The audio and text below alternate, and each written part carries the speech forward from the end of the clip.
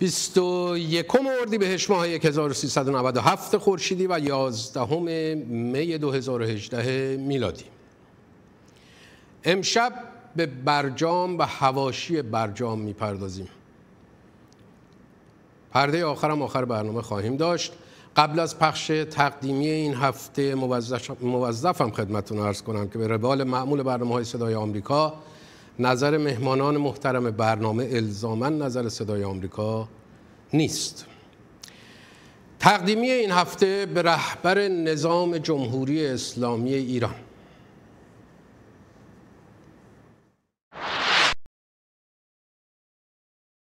با عرض سلام اینجا قوم همکنون اینجا رو می‌بینید. این پروژه همشون مربوط به طلابه یک شهر مسکن دارن می‌سازن. تمام کارگرای ساختمانی اصلا اسمی ازشون نمی‌برن همه بیکارن. آخوندا ببین چه مجتمعایی می‌سازن. اینجا هم جالبه. هیچ کارگر ایرانی رو قبول نمی‌کنن. فقط باید افغانی باشی. بعد میگن کارگر ایرانی کار نمی‌کنه. حمالیشو ما داریم انجام میدیم. انشالله یه روزی همین واحدا به دست صاحبان اصلیشون برمیگرده از سهشنبه پیش که آمریکا از برجام خارج شد همه بحث رسانه ها این بوده که 24 ساعته که ترامپ باید خارج می‌شد یا نمی‌شد. بحث امشب ما این نیست اصلا.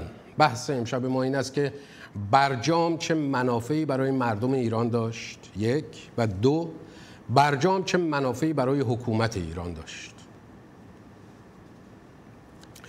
سهشنبه 23 تیر ماه 1394 برنامه جامع اقدام مشترک یا برجام امضا شد. بین ایران اتحادیه اروپا و شش کشور قدرتمند جهان آمریکا، روسیه، چین، فرانسه، انگلیس و آلمان.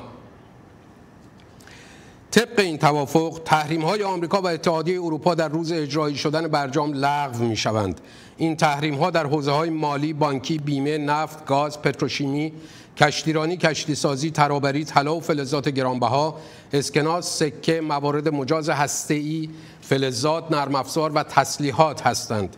همچنین نام برخی از شرکت ها و اشخاص حقیقی ایرانی مرتبط با برنامه هسته‌ای ایران طبق این پیوست از تحریم در می آید. پیوست دو برجام. از تحریم در اومد. اینا در اومدن. همه تحریم های بانکی و غیره که دلیلش فعالیت های هسته‌ای جمهوری اسلامی ایران بود لغو شد. بعد دو هفته بعد از اجرای برجام 11 بهمن 94 نوبخت سخنگوی دولت. میگه بیش از 100 میلیارد دلار از دارایی های ایران آزاد شد. یک سال بعد 29 دیماه 1395 بعد از توافق برجام که حدود یک سال از آن میگذرد اکنون 22 میلیارد دلار از دارایی های ارزی ایران که طی سالهای تحریم بلوکه و خارج از دسترس قرار گرفته بود آزاد شده است. معنی غیر آخوندی این دو خبر حکومتی چیه؟ من هفته پیشم اشاره کردم به این. معنیش این است که از 100 میلیارد دلار پول بلوکه شده ایران که خود جمهوری اسلامی گفت که آمریکا آزاد کرده بعد از توافق برجام فقط 20 میلیارد دلارش اعلام میشه که وجود داره. 80 میلیارد دلارش میگن اصلا از اول وجود نداشته باشه. اصلا حرفشو نمی‌زنن. میگن اصلا 20 میلیارد دلار بود. در حالی که بین 100 میلیارد تا تا 200 میلیارد دلار تخمین می‌زنن پول آزاد شده ایران در اثر اجرای برجام. خود دولت میگه 20 میلیارد دلار به دست ما رسیده. به دست ما یعنی به دست بانک مرکزی و صندوق توسعه ملی که کلیدش دست رهبر معظمه. امیدوارم اولین بار نباشه که برنامه صفحه آخر رو می‌بینین. که میگم کلیدش دست رهبر معظمه شعار نمیدم و علکی نمیگم. هفته پیش مخصوصا با افشای سندی که اعلام کردیم و دیدین اصلا برداشت از صندوق توسعه ملی دست رهبر معظم اساسا. و اون دستورایی که میده 5 میلیارد برای این برده این 2.5 میلیارد برای مصارف نظامی 5 میلیارد بدیم به پیمانکارای سبا و فلان در خارج از کشور بانک مالزی و فلان. اینا رو همه توضیح دادم. باری. حالا این 22 میلیارد که میگن گرفتیم و خودشون می‌دونن فقط باش چی کار باید بکنن بماند آن 80 میلیارد دلار کجا رفت؟ سوریه و یمن و جاهای دیگه. هفته پیش آمار دقیقش رو دادم تو برنامه صفحه آخر. چی رسید به مردم؟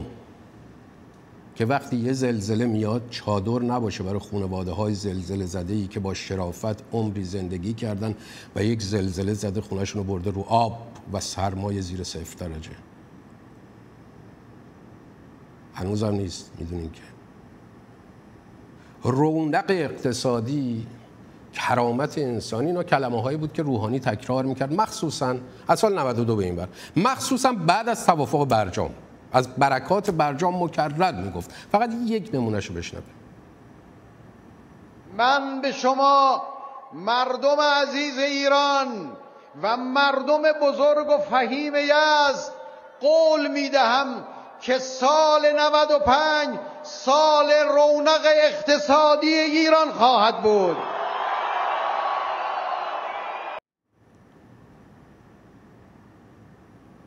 واقعا برای مردم چه اثراتی داشت برجام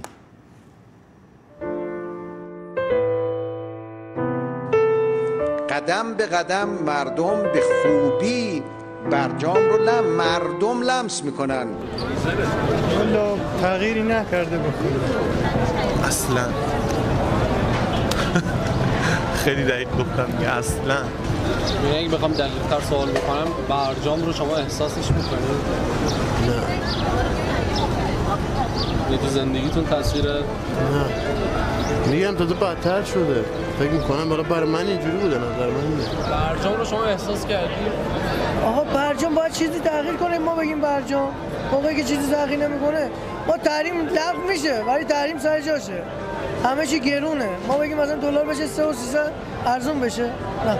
همه چی سر جاشه برجام تو زندگیتون احساس کردید نه فعلا برجام رو زندگیتون احساس کردید برجام هم اینقدر جیبای آقایون گله گشاده به ما چیزی نمی‌رسه. داستان همینه. هر امتیازی هم داشته باشه واسه مردم نیست. به مردم چیزی نمی‌رسه. واسه مردم نبوده. انفجار سیستم مالی و بانکی کشور که تظاهرات هر روزه سال 95 و مخصوصا 96 رو باعث شد تظاهرات یک پارچه سراسری بیش از 100 شهر. که بارها صحبت کردیم خیلی معنی داشت. با مرگ بر گرانی شروع شد. فوری رسید به مرگ بر خامنه ای و مرگ بر دیکتاتور. همه می‌دونیم دیگه همه دیدیم. اجازه بدید در خدمت آقای دکتر حسن منصور هستیم استاد اقتصاد در دانشگاه آمریکایی پاریس. آقای دکتر منصور خوش آمدید به برنامه صفحه آخر. برجام چه منافعی داشت برای مردم ایران و خارج شدن آمریکا؟ چه زیانی برای مردم ایران داره؟ ارز کنم با توضیحی که شما ارائه کردین جناب فلاحتی عزیز ارز کنم خب عمده سودی که برجام برای کشور ایران داشت این بود که سایه یک جنگ بسیار مخرب رو از سر ایران دور کرد. ولا از نظر منافع اقتصادی که شما اشاره کردید این قضایا اندکی مبهمند به این معنی که برجام اجازه داده که ماهانه 700 میلیون دلار از دریای بلوکه به ایران بره. ولی مقدار زیادی از پول ایران در آمریکا محبوسه و اون مقدار قابل توجهی هم زیر فرمانها و احکام دادگاه های آمریکا در واقع توقیف شدند نزدیک 56 میلیارد دلار. ولی خب دولت از این رهگذر پولایی رو دریافت کرد که رقمش رو اصولا باید بانک مرکزی اعلام می‌کرد. به دقت اعلام نکردن همینطوری مبهم باقی مونده. موارد اینا چیزایی دریافت کردن. ولی مشکل اساسی این است که در ایران تولید تولید ملی در سطح ملی انجام می‌گیره.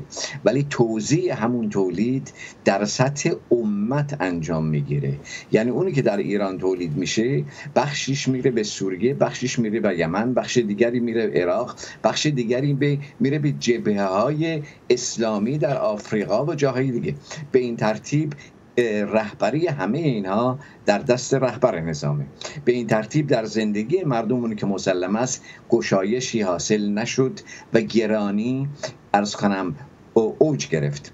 اینجا نکته ای رز بکنم. ببینید آقای روحانی با برنامه اصلاحات اقتصادی که معنیش مهار کردن و براه آوردن تورم رکودی بود سر کار اومد. تورم رو به برکت پیروی از راهنمایی دقیق چند استاد اقتصاد که در اختیارشونه تونستن از 44 درصد 43 درصد تا حد 12 درصد 10 درصد پایین میارن و اینم موقت بود. ولی در مورد رکود تمامی برنامه هایی که به دولت ارائه شده بود الزام می‌کرد که تغییرایی در ساختار اقتصادی ایران پدید بیاد.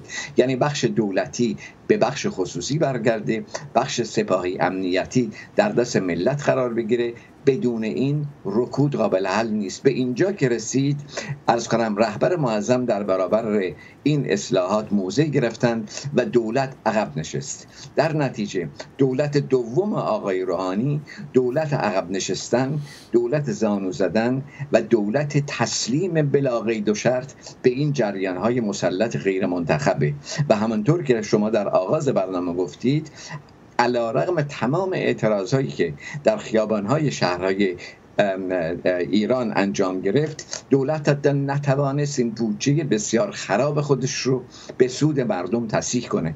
به طوری که بودجه 17 دانشگاه رو شما روی هم بگذارید از بودجه حوزه علمیه کمتره. در نتیجه این آقایون بساتی رو بر خود گستروندند و بودجه کلان کشور رو ارز کنم به سود خودشون در واقع مصادره کردن و سهم مردم بسیار اندک. آقای دکتر نکته رو که فرمودین در مورد برنامه دولت آنچه که کاهش تورم و همچنان رکود تعمیق رکود در واقع و افزایش که باعث افزایش نقدینگی در جامعه و بعد دیگه بی ارزش شدن هرچی بیشتر ریال شد. اینها حالا جای بحث داره. فقط سوالم این است. آیا اینها ارتباطی با برجام داشته است یا نداشته است؟ پاسخ مختصرش این است که خیر نداشته.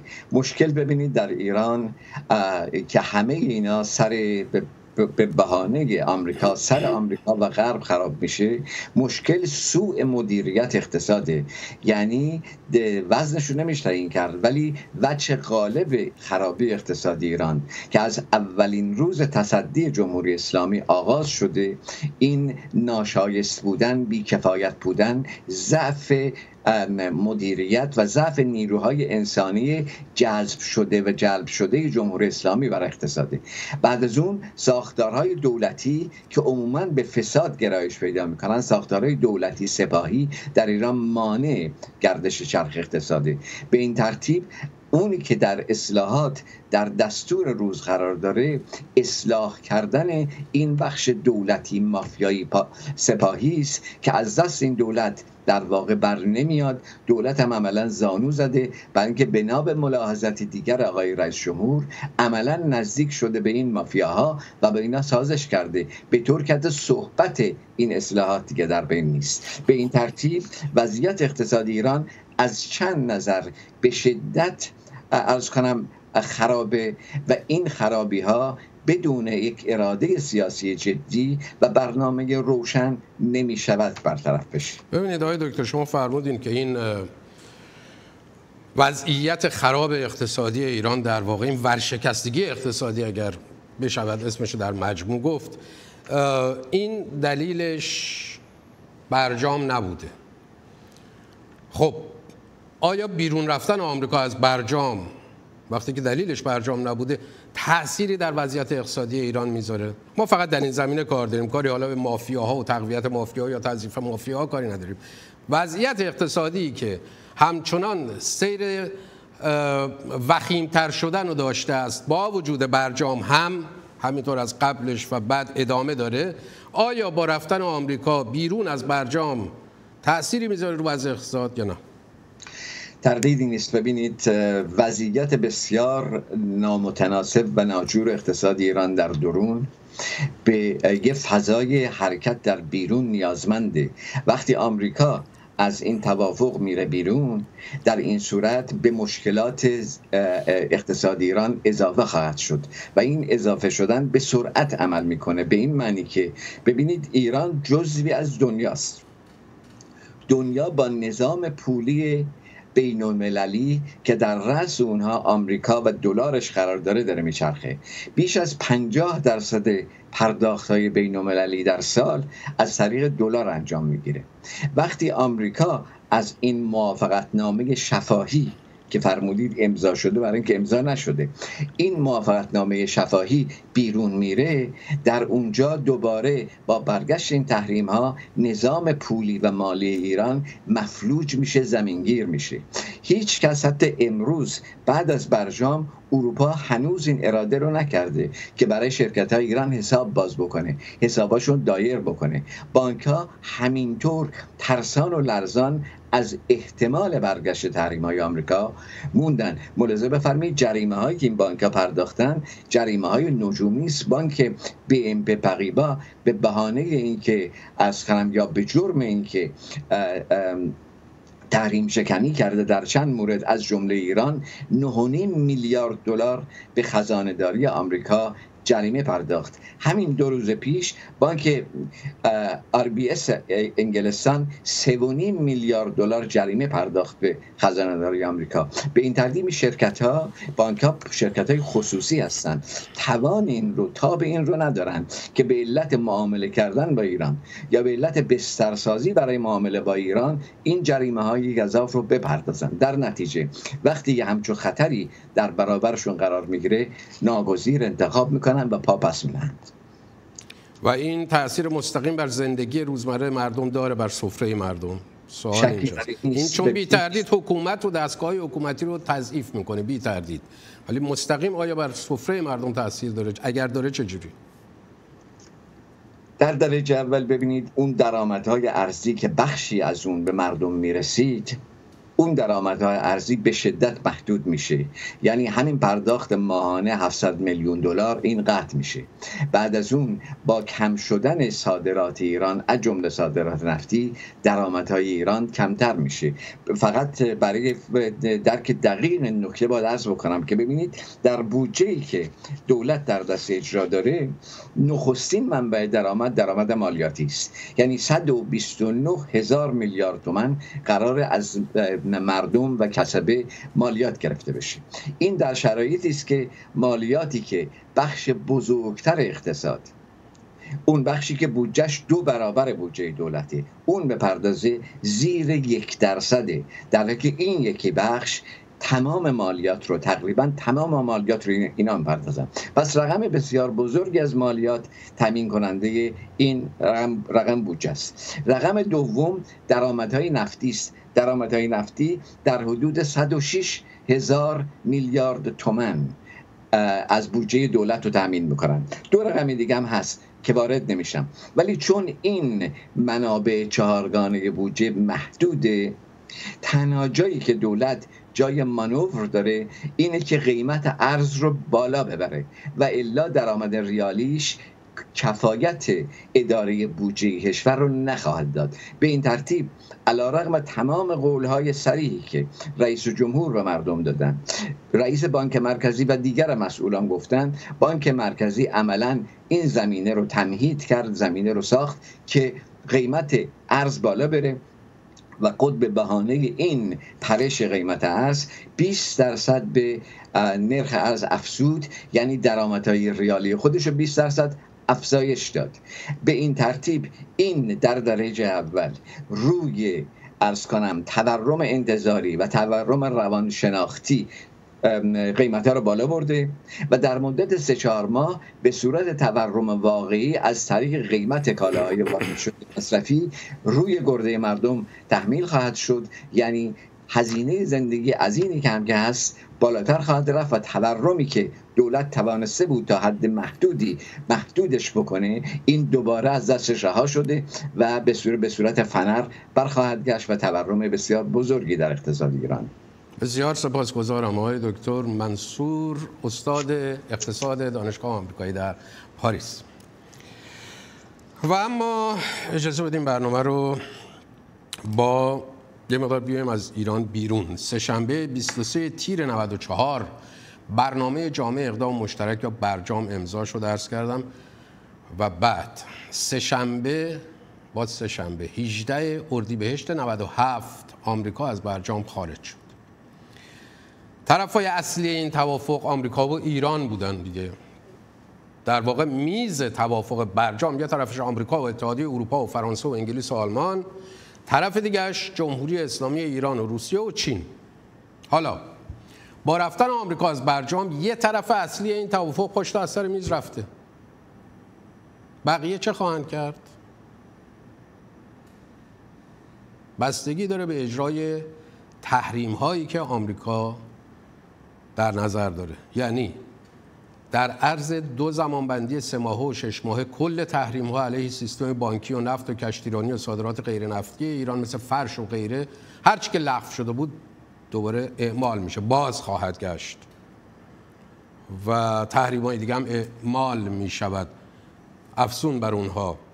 که همین پریشب خبرش اعلام شد که با همکاری امارات شش مؤسسه و فرد حقیقی مورد تحریم های آمریکا قرار گرفتند که بعد از اعلام خروج آمریکا از آمریکا از پرجام بود. آمریکا به شرکت های اروپایی مهلت حد اکثر شش ماه رو داده که آقا جون پولی باید بگیرین از ایران پولتون رو بگیرین و خارج بشین و قراردادها رو با ایران لغو کنین.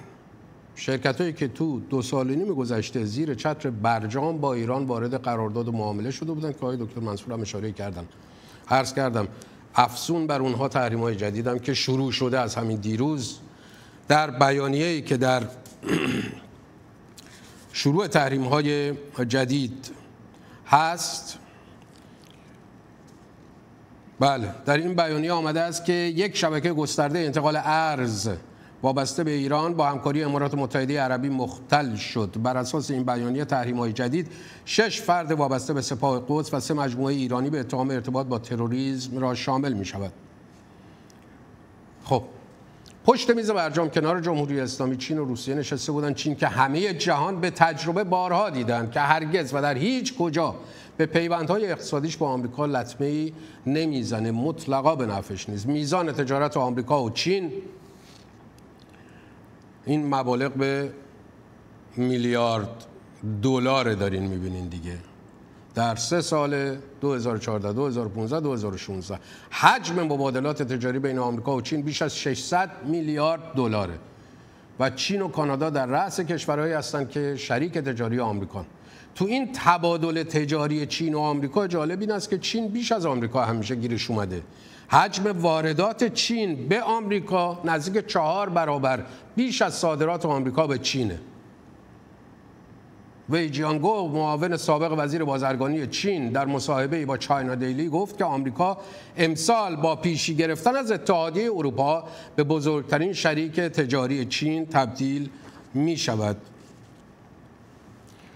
یکی دیگه که در کنار جمهوری اسلامی این وری میز برجام نشسته بود آقای پوتین و کشورش روسیه بود. پوتین همین هفته همزمان با خارج شدن آمریکا از برجام نتانیاهو نخست وزیر اسرائیل رو دعوت کرد به عنوان تنها رئیس دولت خارجی که در رژه ارتش سرخ روسیه در کنار پوتین از این ارتش سان ببینه. بعد از اینکه ترامپ اعلام کرد که آمریکا از برجام خارج میشه خامنه ای چه گفت؟ اون سر اصلی میز. گفت به درک. یه مش فهاشی و لطفازی مجلس شورای اسلامی که میگن بهش اصاره ملت و نماینده مردم به دروغ چه کرد؟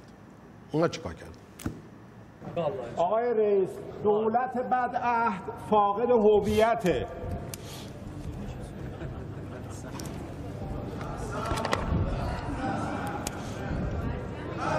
مرگ بر آمریکا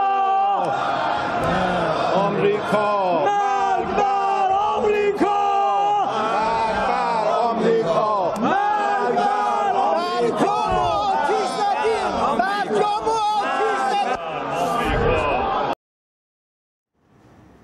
نکته اینجاست ببینین که هیچ حکومتی این نکته مهمی است واقعا. فارغ از این که ایران بده یا خوب اسرائیل بده یا خوب آمریکا بده یا خوب انگلیس بده یا خوب هیچ حکومتی در هیچ کشوری شعار مرگ بر ایران نمیده. ولی جمهوری اسلامی مدام میگه مرگ بر آمریکا مرگ بر اسرائیل بعضی وقتا مرگ بر انگلیس بعضی وقتا مرگ بر فرانسه. بستگی داره چه اتفاقی افتاده باشه.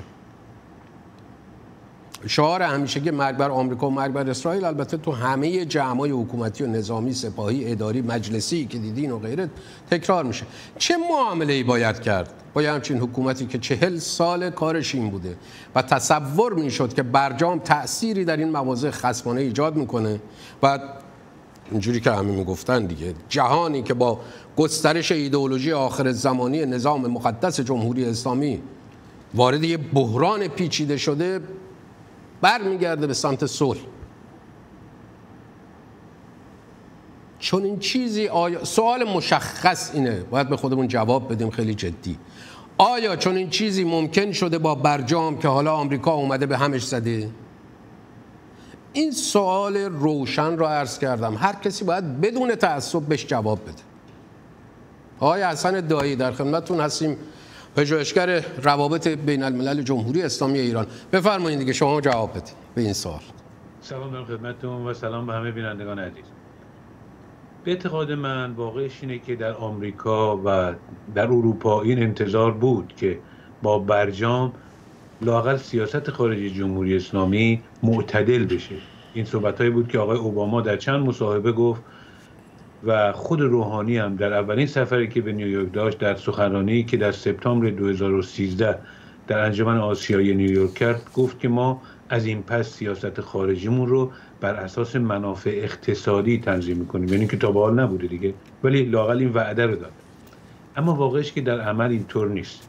ما اگه یک منحنی بکشیم. نگاه بکنیم رفتار جمهوری اسلامی در منطقه رو دخالتاشو در منطقه نگاه کنیم و خرجایی که کرده رو در این چند سال حساب میاد راحت دستمون که به کدوم سم رفته.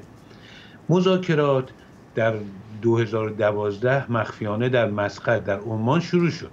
موقع که روحانی اومد این مذاکرات تسریع شد به اصطلاح سرعت پیدا کرد و در نوامبر همون سال 2013 یه پیشنویسی نوشتم. دیگه از اون به بعدش چانه زنی برای تعداد سانتریفیوژا یا زمان محدودیت ها بود ولی مشخص بود که توافق کردن. وقتی که توافق شد برای جمهوری اسلامی مسلم شد که آمریکا داره امتیاز میده برای دستیابی به توافق. چشش رو خیلی چیزا بسته. بالاخره سال 2009 که آقای اوباما اومده بود که مردم در خیابانا بودن جمهوری اسلامی مردم میکش ندا رو کش و بقیه رو کش داد می‌زدن که اوباما یا بانا یا اوباما آقای اوباما رو شد کرد اونور که مذاکرات هسته بکنه. 2013 وقت که علارم قولی که داده بود آقای اوباما که اگه بشار اسد بمب شیمیایی بزنه من تنبیهش می‌کنم هیچ کاری نکرد. جمهوری اسلامی تمام این عقب نشینی های هسته و منطقه‌ای رو چراغ سبز. دید که آقا از این به بعد من هر کاری بخوام می‌کنم. و شروع کرد. این رفتار جمهوری اسلامی این منحنی از 2012 آرام آرام شروع شد. 2013 بعد از پیشنویس اوج گرفت و بعد از توافق یعنی در 2015 و اجرای شدنش در 2016 دیگه شد تبدیل به ماشین بدون دنده و ترمز. استعداد جمهوری اسلامی این بود. که آمریکا تا کنون چشم خودش رو میبست و مماشات میگرد و امتیاز می‌داد که سازش بشه. از این بعدم چشم خودش رو میبنده مماشات می‌کنه که سازش رو نگه داره. حالا آماری و منحنی نگاه بکنیم. از پایان 2012 جمهوری اسلامی دخالتش رو در سوریه شروع کرد. 2013 که روحانی اومد به طور تمام ایار وارد شد. حزب الله که یکی دو هزار تا نیرو داشت رسون به ده هزار تا. لشکر فاطمیون سپاه باستان درست کرد. بعد 2014 لشکر زینبیون پاکستانی رو درست کرد. بعد آرام آرام تمام نیروهای عراقی رو وارد اونجا کرد. 2015 در حالی که پیشنویس رو می نوشتن قاسم سلیمانی رفت با پوتین دیدار کرد. ورود پوتین به جنگ سوریه شروع شد. همزمان با امضا امضای قرارداد و در حالی که این چند ماه اجرایی شدنش بود قتل عام مردم حلب رو به پیش برد. مهمتر از همه اینه که وقتی که اجرای شدن برجام شروع شد و این پولها دست جمهوری اسلامی اومد. جمهوری اسلامی یک پروژه عظیم و پرخرجی که در سوریه داشت برای بازسازی برخی مناطقی که خودش می‌خواست ایجاد پایگاه های دراز مدت لاقل در دوازده پایگاه اساسی تغییر بافت مذهبی جمعیتی خیلی از مناطق حومه دمشق با مرز لبنان و لازقیه که میلیاردها دلار هزینه می‌خواست رو به طور سریعی اینا رو شروع کرد. این مال سوریه که برآورد دیمیت سورا و برآورد بین المللی اینه که حدود سالیانه 15 میلیارد دلار برای سوریه خرج می‌کرده. یعنی اون پول یک جایی که بر برجام و بقیه و فروش نفت و اینا خب بالاخره بعد اول خرج بشار اسد و حزب الله لبنان و اینا بشه دیگه بدن به مردم. خب میگه نمیشه که. این یک در لبنان مخارج حزب الله به طور سرسام‌آوری بالا رفت. حالا به خاطر دخالت در سوریه به خاطر آموزشی که حزب الله دیگر نیروهای نظامی جمهوری اسلامی در همه جا می‌داد و بعد این پروژه انتخابات هزاران مجروح و کشته ای که حزب الله داد بعد مخارج اینا رو می‌داد. برآوردهایی که الان می‌کنن الان به طور جدی دارن سیستم مالی حزب الله رو می‌خوان مسدود کنن. صحبت اینه که از 200 میلیون دلاری که جمهوری اسلامی در سال می‌داد الان مخارج حزب الله بین 800 میلیون تا یک میلیارده. 800 میلیون تا یک میلیارد خب اینم که مال حزب الله لبنان. در عراق هم پروژه بازسازی عتبات مهمتر از همه پروژه اربعین و مهمتر از همه تقویت هشت و شعبی و این انتخاباتی که الان دارن. میلیاردها دلار برای اینجا خرج کرد بعد می‌رسیم به یمن. خب یمن هم هست دیگه آخه برادران هوتیو که نمیشه رها که. دخالت های جمهوری اسلامی در این دو سه سال اخیر به طور بی سابقه افزایش پیدا کرده. اصلا اونجا کارخانجات ساخت موشک زده. از شما تصور بکنید انتقالش چقدر پیچیده است. از تهران به اونجا. خب اینم مال برادران هوتی. این چند رقم؟ حالا یه یا حسین دیگه بگن بحرین و افغانستان هم میاد جزش. حالا شما تصور بکنید چقدر اینا هزینه داره. مهمتر از همه جمهوری اسلامی تنها صنعتی که ما بعد از برجام رشد کرده واقعا در ایران صنعت موشکی و پهباده لاقل میشه از تعداد کسانی که تو این دو سه ساله آمریکا سیستم هایی که پیدا کرده شبکه هایی که پیدا کرده که مشغول خریدهای موشکی و برای تجهیزات پهباد بودن. از آفریقای جنوبی تا مالزی و تا اروپا بی‌نظیره. یعنی یه رشد بی سابقه ای داشته. خب؟ بالاخره یعنی پهباد نداشته باشن که وارد خاک اسرائیل بشه تو سوریه دخالت بکنن تو موشک نزنن یعنی به عربستان. خب بالاخره باید بکنن دیگه. خب اینا میشه مخارج یعنی برخلاف آن چیزی که تصور می‌شد یا وعده تو خالی که روحانی می‌داد در حقیقت برجام رو جمهوری اسلامی چراغ سبز و فرصتی دید که بدون دنده و ترمز هر کاری می‌خواد در منطقه بکنه. در یک کلام میشه گفت بخش مهمی از فواید برجام برای جمهوری اسلامی بود که دستش در منطقه بازتر شد. بعد اون هزینه حزب که میگین 800 میلیون تا 1 میلیارد دلار سالانه شده. آقای دکتر منصور فرمودن که یکی از چیزهایی که دوباره بلوکه میشه سال 700 میلیون دلار آمریکا با امضای برجام قرار بود که داده بشه. به ایران که یعنی اون پول قلمبه نقدن می‌رفت برای حزب الله و خب از بعد دیگه نمیره. ولی آقای دایی ما اگه بخوایم به این در واقع ارقام نگاه ساده نگرانه ابتدایی نداشته باشیم. فقط اینا رو نچینیم کنار هم دیگه و ضرب و تفریق بکنیم. به طور کلی آیا مناسبات بین المللی ایران یعنی اینا همش اینی که بگیم برجام همش اثرات بد داشته بی تردید هر معاهده هر توافقی یه سری اثرات خوبم داره در دو طرف.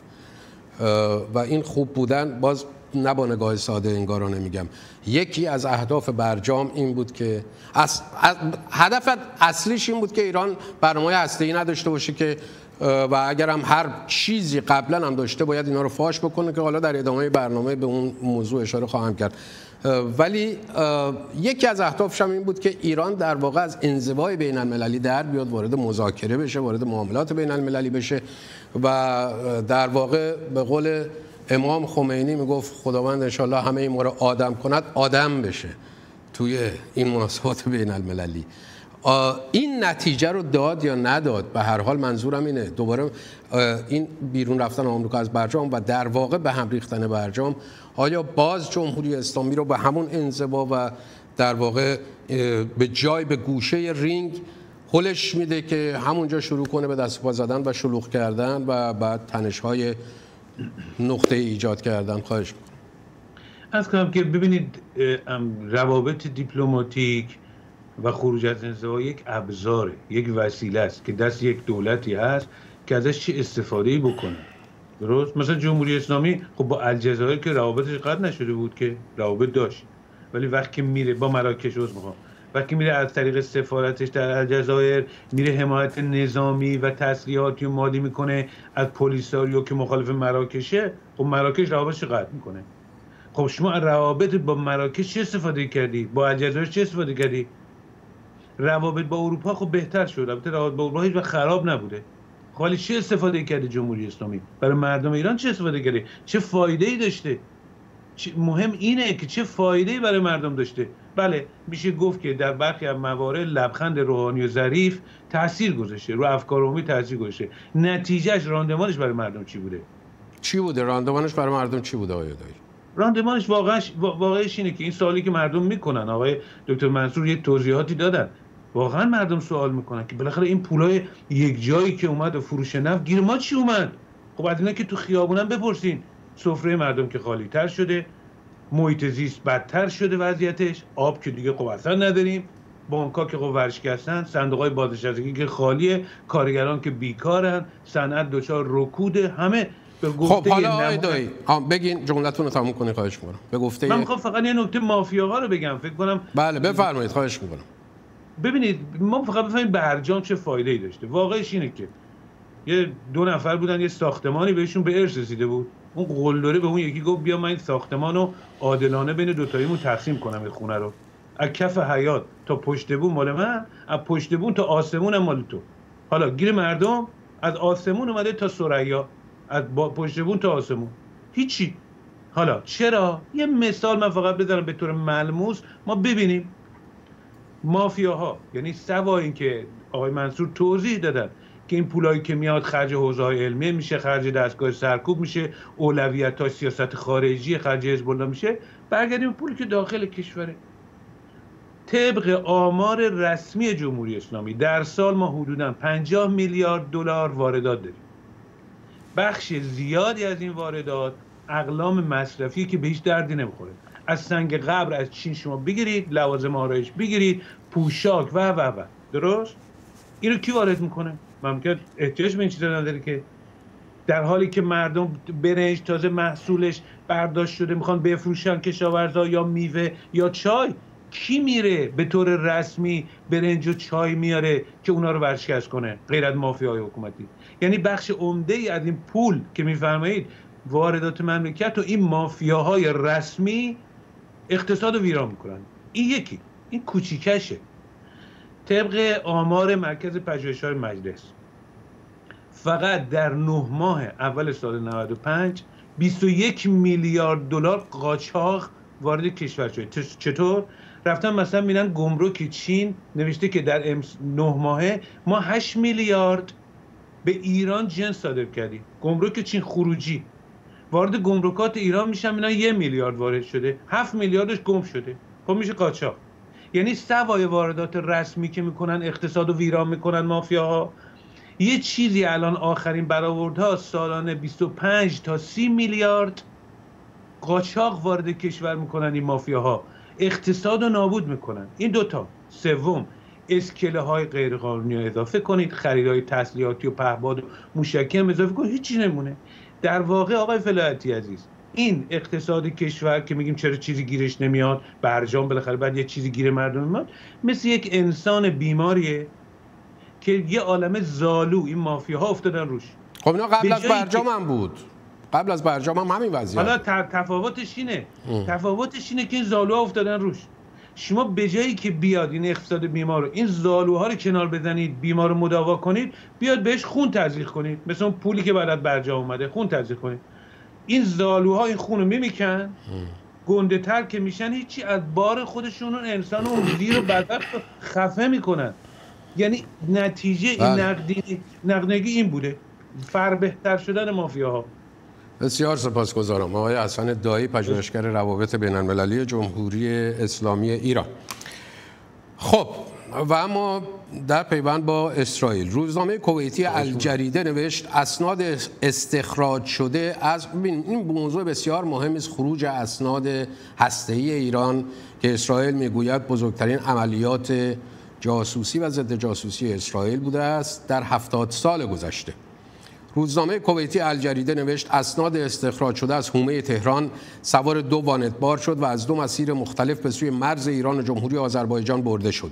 در حالی که دو مأمور موساد سازمان اطلاعات اسرائیل تا رسیدن وانت ها به مرز جمهوری آذربایجان آنها را همراهی می‌کردند و محموله ها را در مرز به ماموران امنیتی منتظر در آن سوی مرز تحویل دادند.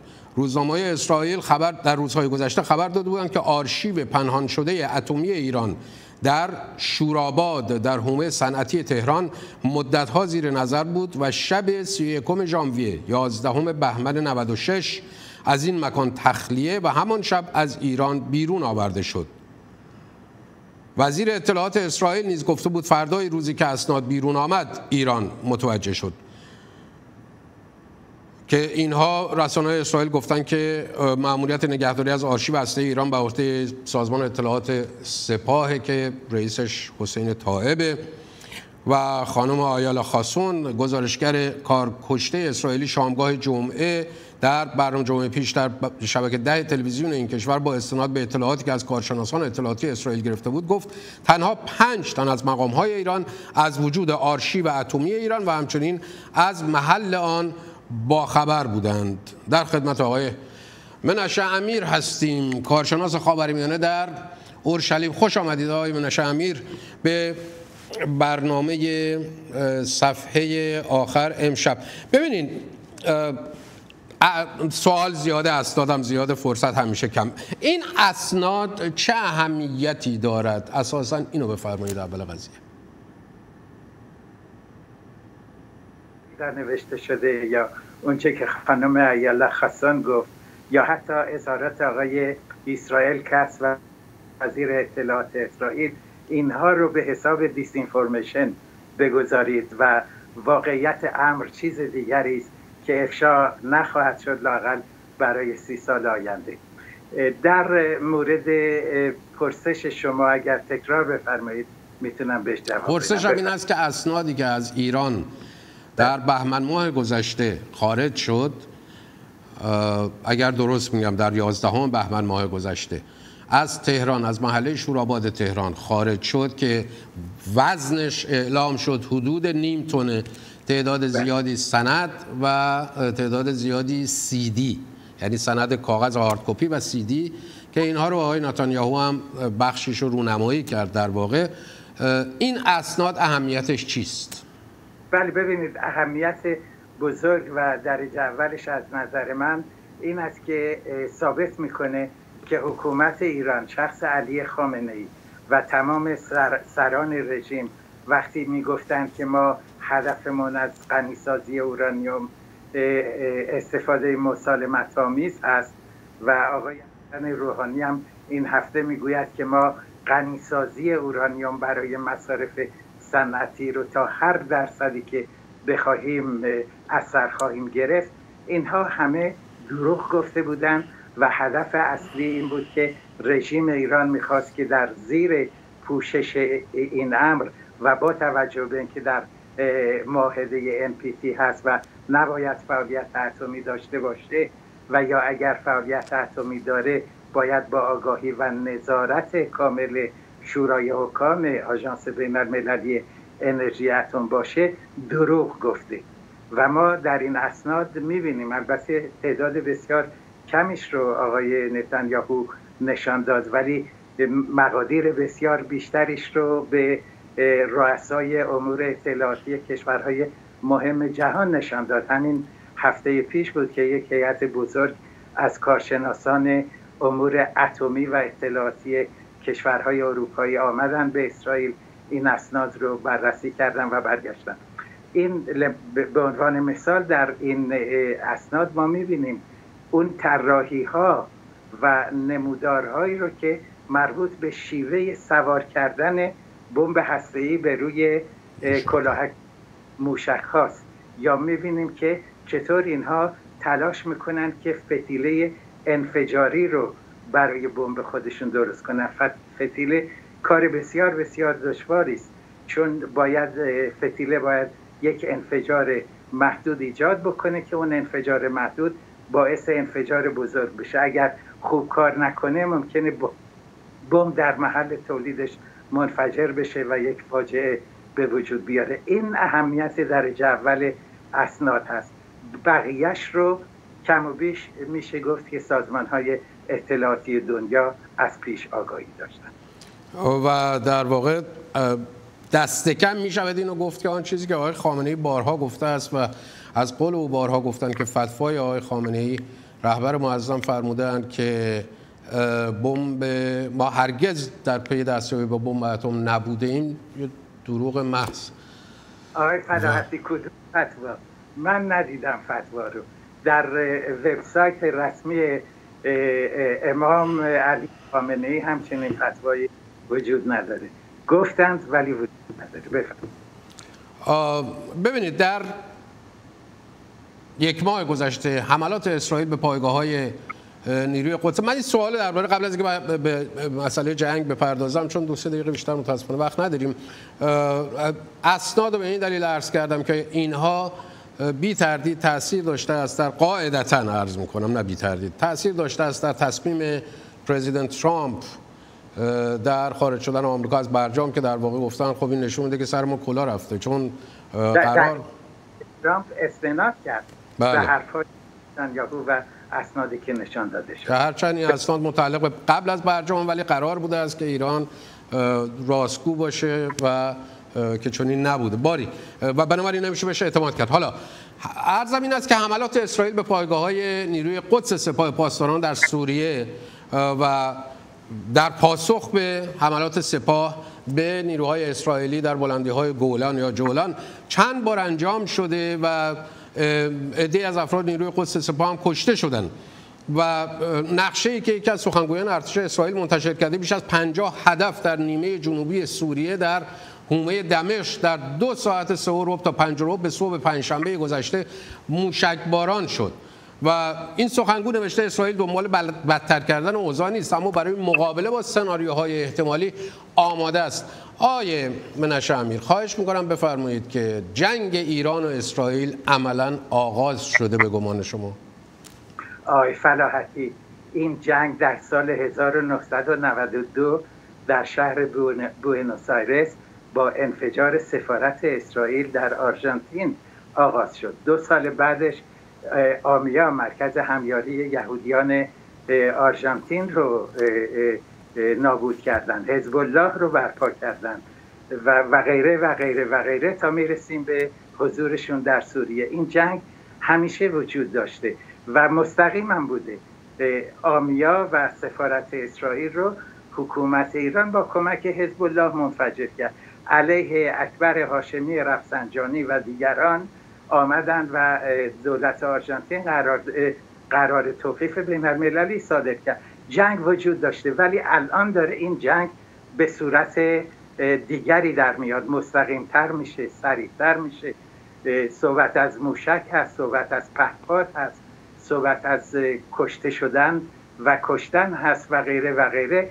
و این دو کشور رو در مسیری قرار میده که برای دولت ایران و رژیم کنونی در ایران بسیار خطرناکه. آقای فلاحتی پنجاه هدف شناخته شده سپاه پاسداران در ظرف 90 دقیقه نه بیشتر 90 دقیقه 80 تا سورسی داشتن و در ظرف 90 دقیقه این اهداف رو نابود کردن. ببینید حساب بکنید که سرویس های اطلاعاتی و رکن دوی ستاد ارتش اسرائیل چه توانایی زیادی دارن که نقطه نقطه اینها می‌دونن که در کجای سوریه پنج تا حزب هست در کجا دو تا موشک گذاشتن در کجا آیه آیه امیر خواهش می‌کنم این پرسش آخر یه دقیقه فرصت داریم.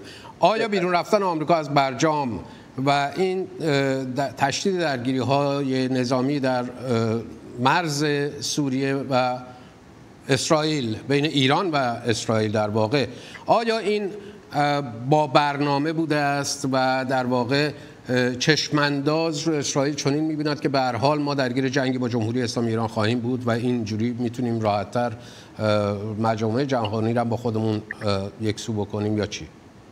ببینید یک نکته اساسی رو من در مورد ارتش اسرائیل و شیوه کار دولت اسرائیل به شما بگم و اون نوشتن و آماده کردن سناریوهای مختلف است.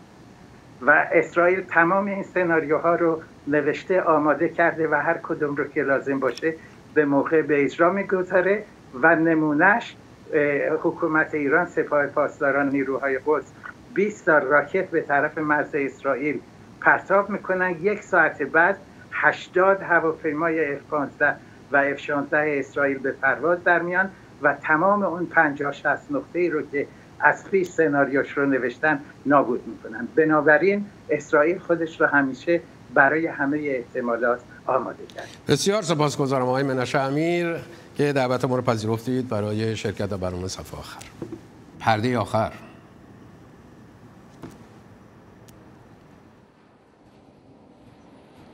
ما هم که خیلی گردن کلفتیم نه؟